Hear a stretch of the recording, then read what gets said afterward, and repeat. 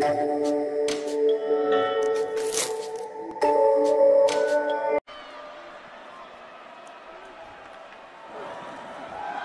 and five. Rattler wants another big one downfield.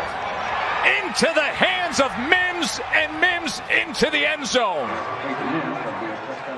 This young receiver for Oklahoma is doing his thing. Beat Stewart and tack on a 61 yarder to the 50 yarder he's already banked. Going on the ground. So what do they do? They go heavy play action with the puller out in front. I mean, this looks just like the run play. That's why they get in islands. They get in one-on-one situations. And Mims, who has been such a wonderful surprise for this Oklahoma Sooner offensive staff